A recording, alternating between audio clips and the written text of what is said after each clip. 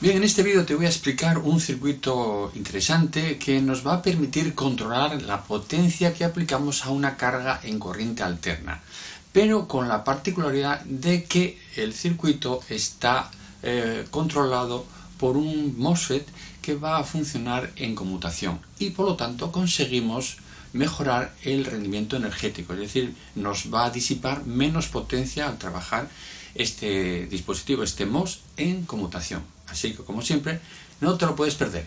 Ya sabes, mi nombre es Aurelio Cadena, así sin más esto empieza...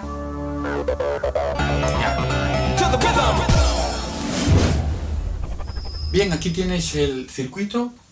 Eh, está basado en el 555, que nos va a generar una tensión de control regulada en PWM. Si no sabes o no recuerdas cómo funciona esto del PWM, abajo o aquí arriba te dejo el enlace para que veas el vídeo.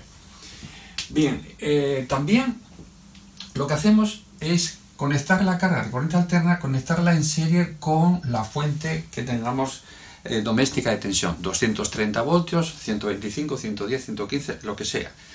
entonces, como estás viendo, lo que hacemos es que para poder utilizar el transistor que va a funcionar en conmutación, eh, tenemos que eh, rectificar esa tensión alterna. Entonces la tensión alterna sí la aplicamos a la carga, pero gracias a este rectificador lo que conseguimos es que tengamos por el transistor siempre la corriente en el mismo sentido. ¿sí? Y por la carga vamos a tener corriente en ambos sentidos. Fíjate que si aquí tenemos corriente alterna, cuando tengamos la semionda positiva, ¿qué es lo que va a hacer la corriente? La intensidad va a venir así por este diodo, por aquí, y va a poder circular por el transistor si este está en conducción, y eso va a estar controlado por el 555, como te voy a explicar a continuación, y se cierra a través de masa, es decir, que por aquí retornaría la corriente a través de la resistencia y hacia el negativo. Por lo tanto, en la resistencia estamos recibiendo una tensión así. Si este transistor está conduciendo durante toda esa semionda, la tensión que le estoy aplicando a la carga es igual que la semionda que tenemos aquí. Es decir, que si tenemos una semionda alterna, rectificada, ¿eh? aplicada a la carga, podemos tener la misma tensión a la carga aplicada. ¿Sí? Pero si este transistor solo conduce durante la mitad del tiempo, durante la mitad del tiempo, el resto no va a recibir tensión. Entonces los tiempos de conducción van a venir determinados por la tensión de control que tengamos aplicada entre puerta y fuente. Bien, ¿qué va a ocurrir durante la otra semionda, la semionda negativa? tendríamos polaridad así, tendríamos polaridad así. ¿Qué va a ocurrir? Que ahora la corriente viene por aquí, viene por aquí, ¿sí? Y entonces aquí tenemos la polaridad contraria, ¿sabes? Y retornaría por aquí, iría por aquí, y como veis, circula el mismo sentido que antes. Y ahora retornaría por este diodo hacia el negativo. ¿Vale? Entonces, utilizo este transistor como interruptor para decidir cuándo tengo aquí tensión y cuándo no la tengo. Bien, para alimentar al 555 vamos a utilizar esta parte del circuito. Fíjate que entre este punto y masa, entre este punto y masa, entre este punto y masa, lo que tengo es una tensión siempre positiva. Es decir, que entre aquí y aquí lo que tenemos es una onda rectificada así, ¿no? Bien. Entonces, este diodo va a conducir y este condensador primero va a eliminar esas interferencias de alta frecuencia que podríamos tener debido a ruidos, etc. ¿eh? Condensador de 220 nanofarados cerámico, ¿vale? Y 400 voltios. Luego tenemos aquí un estabilizador básico de tensión con estas dos resistencias están separadas, 33K, porque pueden ser resistencias SMD, y entonces utilizamos dos en serie para dividir la potencia, ¿vale? Y este Zener nos va a conducir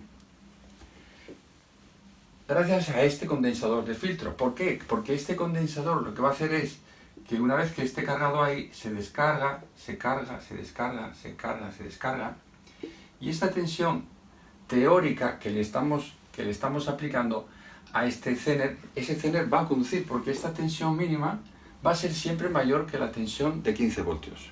Entonces el Zener nos va a conducir, ¿vale? ¿Y qué, vamos a tener? ¿Qué tensión vamos a tener? Pues vamos a tener esa tensión. Es decir, esa tensión de 15 voltios, ¿vale?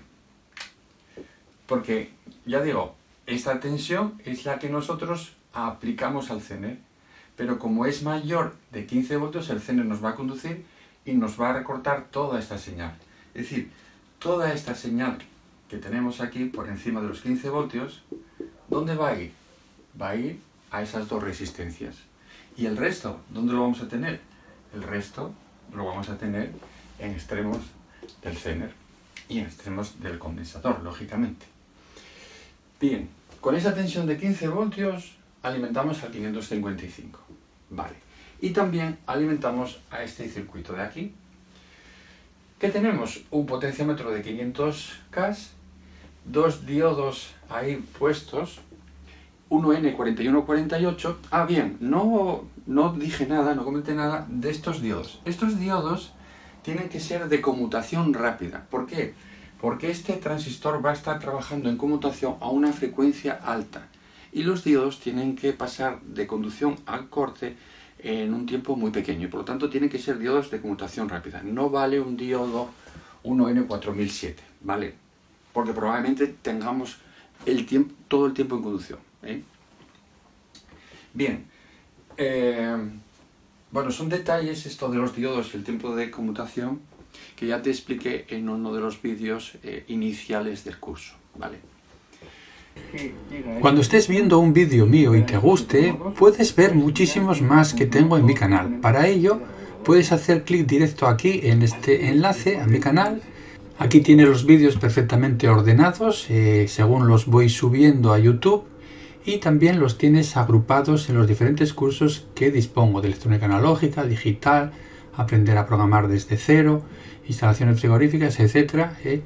Y cuestión está muy importante, si quieres no perderte ninguno de los vídeos que voy publicando, debes suscribirte a mi canal y así me vas a apoyar. Haces clic aquí en suscribirme y importante activar las notificaciones y activar aquí todas para que cada vez que suba un vídeo YouTube te avise de tal evento y así no te pierdas ninguno. También si quieres apoyar económicamente a mi canal y tener acceso a vídeos exclusivos para los suscriptores, debes hacer aquí clic en unirme ¿eh? y hacer clic otra vez aquí en unirme y seguir las instrucciones que YouTube te va indicando y tendrías acceso a todo el contenido del canal.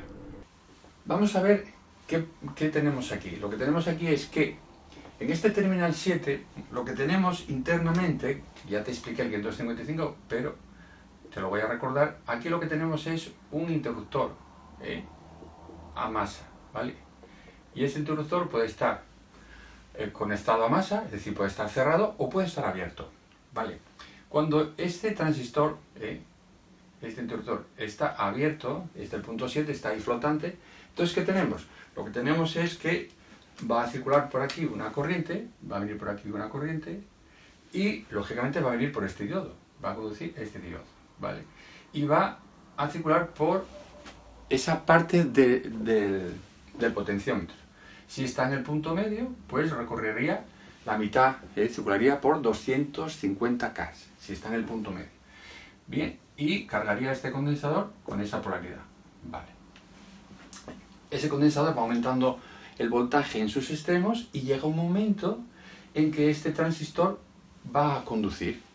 Y entonces se cierra ese interruptor eh, durante el tiempo en que este condensador se está cargando, la tensión que tenemos en la salida es un nivel alto de tensión, aproximadamente sobre los 13-14 voltios. ¿vale? Si alimentamos con 15, siempre tenemos ahí internamente una caída de tensión y por aquí tendríamos pues eso, unos 13,6 voltios, por decir algo. Y entre base y emisor, si en la salida tenemos 13,6, pues aquí tendríamos aproximadamente unos 13 voltios, un nivel alto de tensión, ¿vale? Y ¿qué vamos a tener? Que entre puerta y fuente, al tener un nivel alto de tensión, este transistor entra en conducción, ¿vale? Y está cerrado y por lo tanto la tensión aquí y la tensión en la carga son iguales, ¿vale? Entonces este condensador empieza a aumentar la tensión, como te decía, y llega un momento en que este interruptor se cierra, ¿vale? Entonces, al cerrarse este interruptor, la salida pasa a nivel bajo. Es decir, la salida tiene un nivel que es insuficiente para que ese transistor conduzca. Entonces, ¿qué va a ser? Que este transistor se va a poner al corte. Al ponerse al corte, la capacidad que tiene aquí entre, eh, entre puerta y fuente se descarga por esa resistencia y el transistor pasa al corte, el transistor MOSFET pasa al corte. Y entonces la carga deja de recibir tensión. Y todo ello eh, ocurre durante un determinado tiempo, durante la semionda positiva, por ejemplo. ¿vale? ¿Qué va a ocurrir ahora si esto está en masa?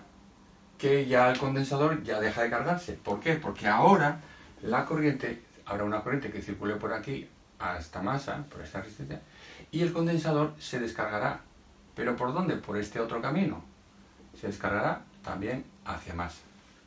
Pero ahora el condensador, fíjate que recorre la otra parte del potenciómetro, los 250K. ¿vale? Entonces, la resistencia de carga, la resistencia que ve el condensador cuando se carga y la resistencia que ve el condensador cuando se descarga es la misma. Hay una diferencia de un K, porque cuando se carga tendríamos un K más los 250 y cuando se descarga solo tendríamos los 250K. Eh, entonces el tiempo en que la señal está en alto aquí y el tiempo en que la señal está en bajo son iguales. Es decir, el tiempo que está en alto y el tiempo que está en bajo son iguales. ¿Y qué tendríamos? Pues tendríamos la mitad de potencia y la carga. Si yo ahora este cursor lo desplazo, por ejemplo, hacia la derecha, ¿qué consigo? Que ahora la resistencia que ve el condensador cuando se carga y cuando esto está al corte y cuando la salida está en alta, el condensador se carga muy rápidamente y entonces rápidamente va a pasar al corte ese transistor y se va a abrir y lo que consigo es que el tiempo en que está en alto es pequeño y el tiempo que está en bajo es grande. El periodo siempre va a ser constante, es decir, esta señal va a tener un periodo siempre constante. Y lo único que hacemos es variar los tiempos en alto y en bajo. Entonces, como el tiempo que está aquí, esta señal en alto, es pequeño, este transistor conduce durante poco tiempo, y esta carga recibe menos potencia. ¿Sí? Y al contrario, si este cursor lo desplazo hacia la izquierda, consigo aumentar este tiempo, consigo aumentar el tiempo en que está en conducción y recibe más potencia. ¿Sí? Esta resistencia de 500K, este condensador de 10 nanofaradios, son los responsables del periodo este. ¿vale? Del tiempo del periodo. Si aplicamos la fórmula, eh, conseguimos saber cuál es el periodo. Bien, el periodo de esta señal va a depender de este condensador, como te dije, y del potenciómetro, y tendría un valor de 1,44 multiplicado por el valor del potenciómetro y por la capacidad, el valor de este potenciómetro, P, y por la capacidad de este condensador. Y la frecuencia eh, de esta señal de control sería la inversa del periodo y aproximadamente sería 140 hercios. Entonces lo que tenemos es un circuito de conmutación de este transistor que va a estar en conducción un tiempo que podemos regular con el 555 con el potenciómetro y la carga, ¿vale? Estos diodos pueden soportar hasta 5 amperios. Si pones otros diodos, pues podrás aumentar la intensidad. Este transistor hasta 4,5 amperios, por lo tanto está limitada la intensidad a este, porque estos son 5 y estos son 4,5. Si quieres aumentar la potencia en la carga, tendrías que aumentar la corriente que van a soportar estos diodos y el transistor. Lo demás sería perfectamente válido. Se me olvidó comentarte la función de este diodo y es la de impedir la descarga de estos dos condensadores a través del transistor MOSFET cuando éste esté en conducción, lo que eh, dificultaría la alimentación del 555, ya que eh, el Zener dejaría de conducir en algún instante y el circuito no estaría correctamente alimentado. Espero que te haya gustado, que lo, que lo hayas entendido. Y si no lo has entendido, te, si no lo has entendido, te recuerdo que puedes empezar el curso desde cero de electrónica analógica que tengo en mi canal o ir viendo los vídeos como tú quieras. Pero lo interesante es empezar desde cero. Los vídeos están ordenados para que puedas seguir perfectamente las, indicaciones, las explicaciones. Así que muchas gracias y nada, nos vemos, la, mejor dicho, me veis la próxima semana. Chao.